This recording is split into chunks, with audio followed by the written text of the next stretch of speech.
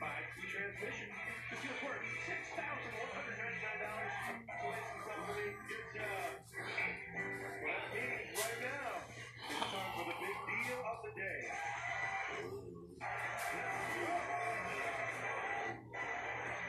Here we go. Big deal time. Twenty-six thousand two hundred twenty-four dollars in first place. Megan with the watches. The trip to Miami. Five hundred dollars. Seven thousand nine hundred fifty-four dollars. Megan, what are you gonna do? I'm gonna keep it. She's gonna keep it. Enjoy. Next, Max with the four thousand dollars plus the diamond necklace, seven thousand seven hundred fifty dollars. You went through a lot to get that Max. Are you gonna keep it or go for the big deal? Keep it, keep it, keep it. Martin and Dina, the trip to Montreal, over seven thousand dollars. Go to Montreal or go for the big deal. Not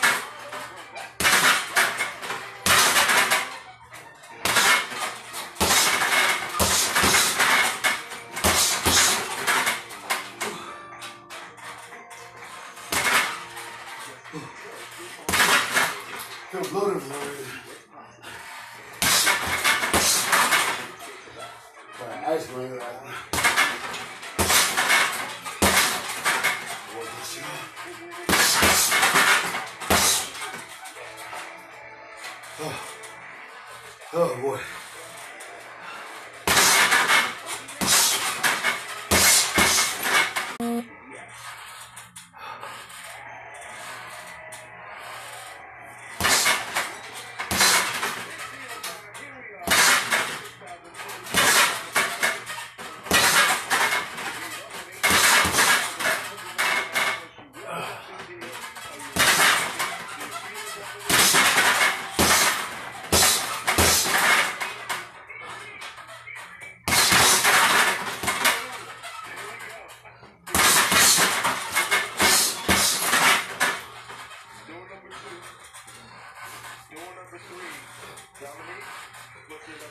Ariana, what you doing, baby girl? Out there in New Jersey, mommy. Ariana. What's up, baby girl out there in New Jersey? My friend from New Jersey. My baby girl from New Jersey. What's up, Ariana? What you doing, boo?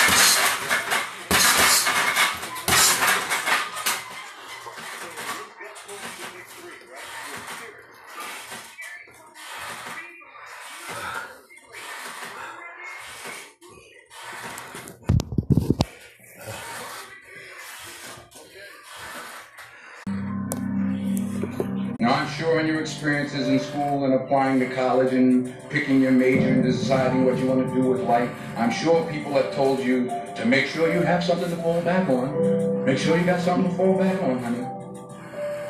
But I never understood that concept, having something to fall back on. If I'm going to fall, I don't want to fall back on anything. I want to fall forward. I figure at least this way I'll see what I'm going to hit.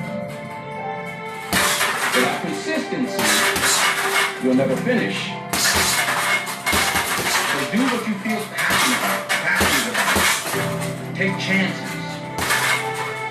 Don't be afraid to fail. There's an old IQ test, nine dots, and you have to draw five ones into the center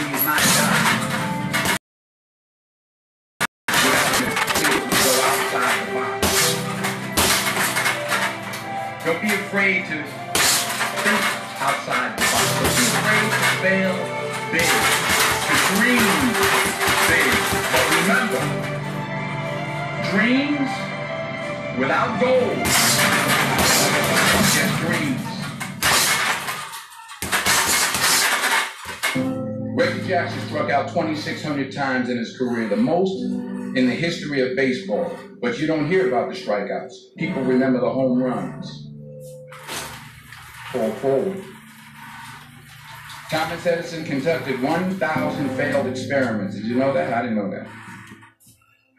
Because the 1,001st was the light bulb. Fall forward. Every failed experiment is one step closer to success. You've got to take. And I'm sure you probably heard that before, but I want to talk to you about why that's so important. You will fail at some point in your life. Accept it. You will lose. You will embarrass yourself. Stress test. You will suck at something. There's no doubt about it. And I know that's probably not a traditional message for a graduation ceremony, but hey, I'm telling you, embrace it because it's inevitable. In the acting business, you all the time. Early on in my career, Broadway music. Except for the fact that I can't sing. I didn't get the job. But here's the thing.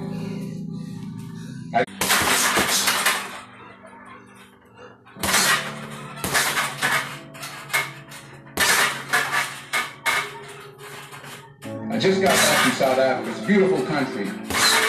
But there are places there with terrible poverty poverty that need help. And Africa is just the, the, tip of the iceberg. The Middle East needs your help. Japan needs your help. Alabama needs your help. Tennessee needs your help. Louisiana needs your help. Philadelphia needs your help. A lot, and we need it from you. We really do. We need it from you young people. I mean, I'm not speaking for the rest of us up here, but I know I'm getting a little grayer. We need it from you, the young people. So remember this. You got to get out there. You got to give it everything you got, whether it's your time, your your your talent, your prayers, or your treasures. What are you going to do with what you have? I'm not talking about how much you have.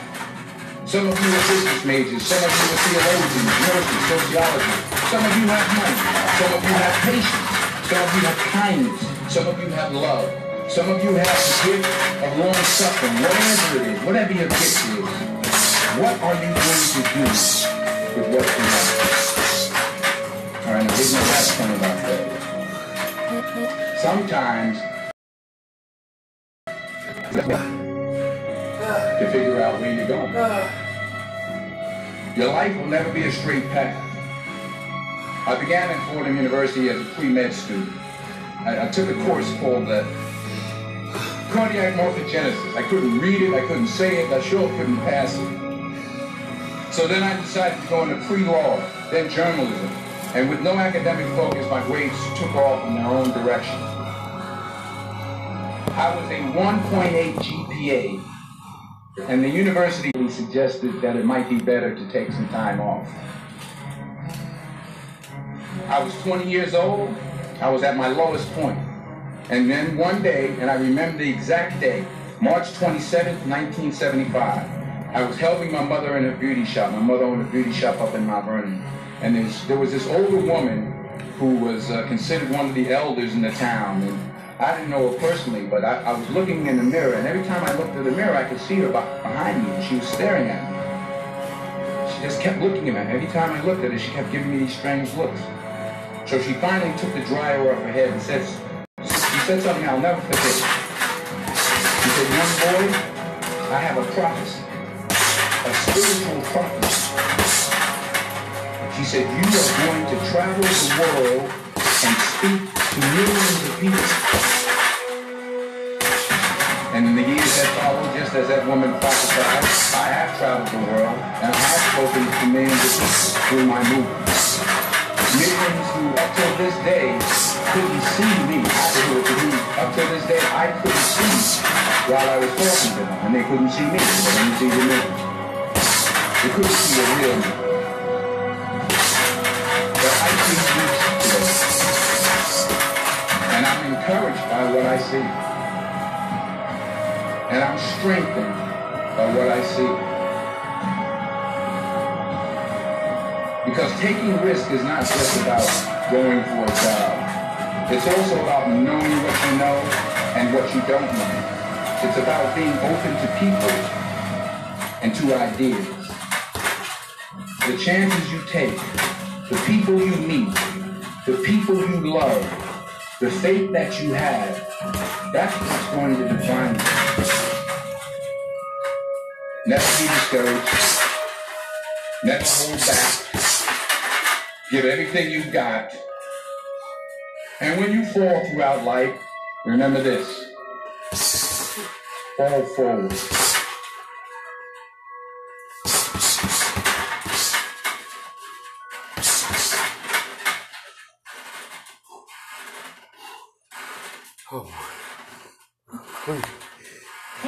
Jones. What's